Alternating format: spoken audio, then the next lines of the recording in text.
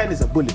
He's a, he's a chairman of the committee I7, the Committee on Communications. And, you know, there's that mutual respect and rapport between us. But clearly, time and again, he's dragged the name of Parliament in the mud.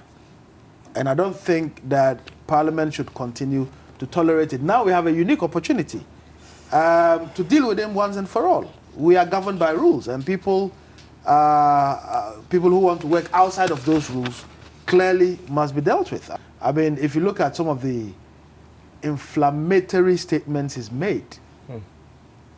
on becoming of a member of parliament, the inciting of hatred on becoming of a member of parliament. And we can't, we have a unique opportunity. I would support every move to actually make sure that um, he faces the full rigors of whatever the, the, the laws are.